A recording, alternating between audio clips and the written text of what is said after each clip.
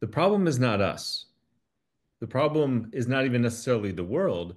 It's simply that our inner resources, our biology, you could even say, is not built to handle the kinds of inputs and stimulation that it is currently surrounded by.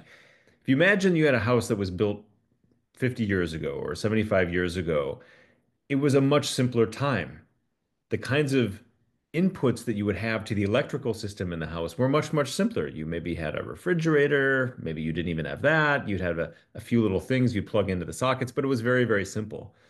And imagine fast forwarding to the current age. And imagine you have that same circuit box in your house, but in this 21st century where you have so many things, so many devices, computers, all sorts of appliances. Maybe you're even charging your car at home now. There's all of these things.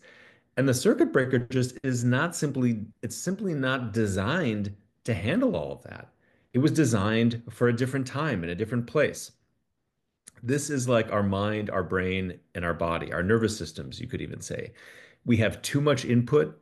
We have the 24/7 news cycle. We have social media. We have work demands and family demands that are just constant and never let up. At the same time, we don't have time to process that. We have very little time in our day for being. We talked about that in the last session.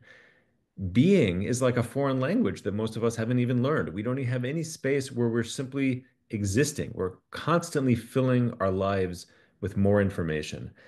And so what happens is like a circuit breaker, it just breaks down, it shuts down. And that's what it feels like when our emotions tend to crop up.